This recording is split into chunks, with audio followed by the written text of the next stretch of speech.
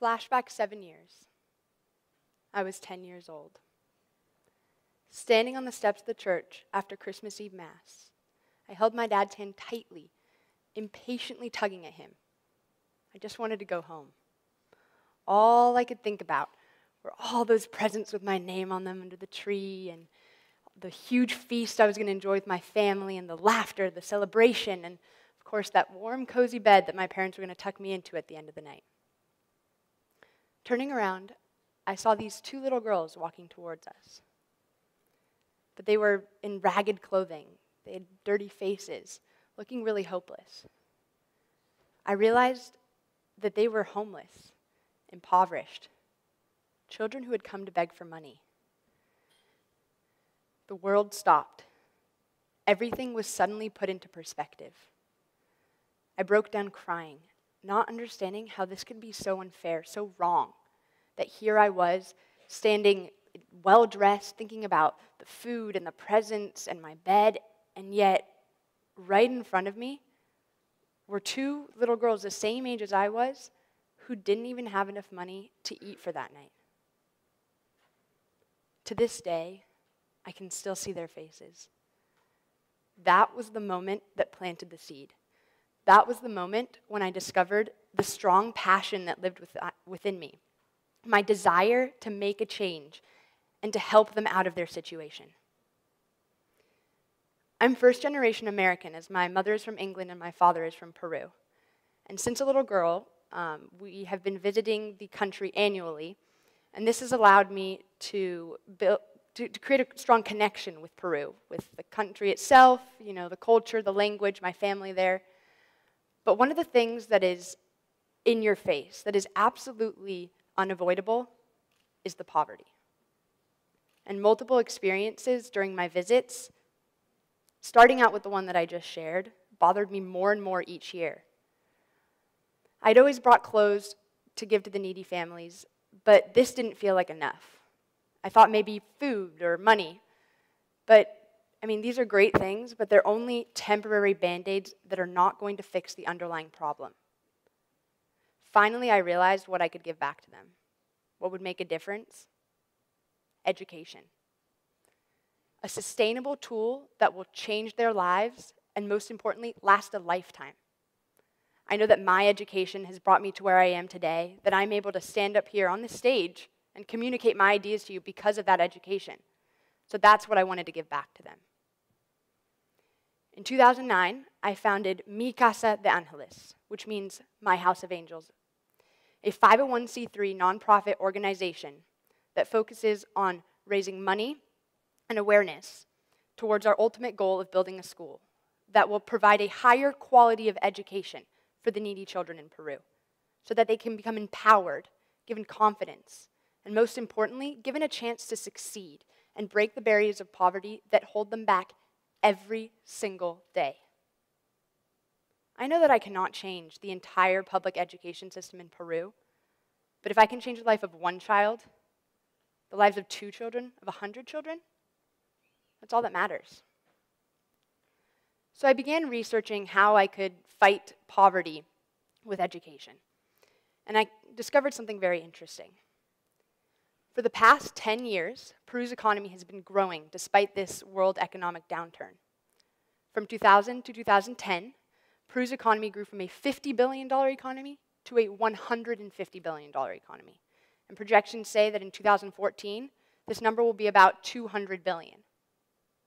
But despite this economic growth, the public education system remains broken. A survey was done to assess the primary and secondary education systems of 145 countries around the world. And in the same 10 years that Peru's economy tripled, the educational ranking only moved three spots from 138th to 135th out of 145 countries. That's the bottom of the ladder. And while subpar facilities and a 7% illiteracy rate are two main problems, the biggest problem is the low quality, poorly trained teachers. Eight in every 10 teachers in public schools are often partially illiterate and struggle doing basic math problems. Simply put, if these teachers cannot teach, the students are not going to learn. And it's, it's so frustrating to me that a country can be doing so well economically, and yet they are completely neglecting the education of their future generation. And I mean, this is a generation that's going to be contributing to this economy in a few years from now. It's interesting. Once you become aware of an issue, you naturally notice it more. On my last trip to Peru in May, I was sitting eating breakfast in the kitchen in my uh, Peruvian family's home, and I looked over at Vicky. And Vicky is my Peruvian fam- family's empleada, which means housemaid. And I watched her, she was making the grocery list, and she was staring intently at the cereal box in front of her and some other canned goods. And she wasn't copying down letters or words, but instead she was drawing out shapes and lines, trying to make it into something legible. And I realized in that moment that Vicky was illiterate. A woman I had known for 17 years, who had taken care of me on all of my trips to Peru, did not know how to read or write. And I can tell you for a fact that this was not a result of a lack of desire because I know Vicky is one of the hardest workers.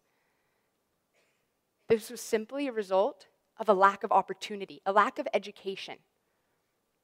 But I know that a better quality education will diminish this illiteracy among future generations of this, of this impoverished population. So I can really pull together my personal goals in what I call the three E's. First, educate. Education is the most sustainable tool that I can give these children. But not any type of education, a higher quality of education. One with, a, one with better quality teachers, better resources, that is what is going to make the difference. Secondly, empower. I truly believe that education empowers. I had the opportunity to visit a public school in one of the shanty towns in Lima, Peru. And while I was there, I met this kid named Marco.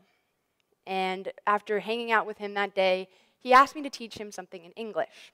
And so I taught him two simple phrases Hello, my name is Marco, and I'm 11 years old. And I mean, these are basic phrases we could say that we use on a daily basis, but they meant the world to him. I mean, his face lit up, his attitude changed. I mean, the confidence was pouring out of him as he ran around the playground telling all of his friends he knew how to speak English. I mean, this is absolutely adorable. And I mean, that right there, that proves to me that even the simplest form of education empowers. Lastly, I want to enthuse. I want to inspire the social conscience of all of those around me those who are younger, those who are older, my peers. I believe it's really important that everybody finds something that they're passionate about and that they take action. Don't wait until you're older. Don't wait until you're retired or you have a successful career, you're making lots of money, so you have a lot to give back. Don't wait. Do it now and aim high. Aside from having the support of my family and my friends, about 600 people have come together to support Mi Casa de Angeles and our efforts.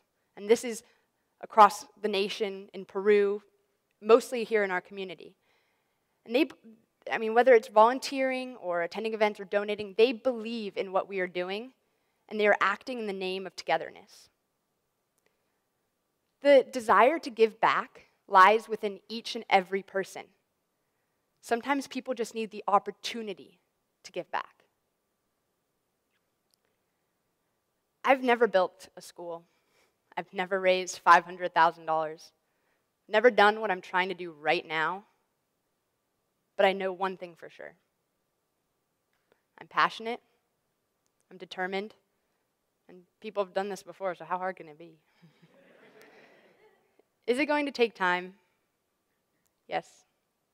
Am I going to have difficulties, frustrations? Of course. Am I going to need the help of others working by my side towards this goal? Absolutely. But the reward, the reward of changing the lives of these children, of making an impact in their education, will certainly outweigh all of the effort that myself and others can put into this. Together, we are going to change their lives with education.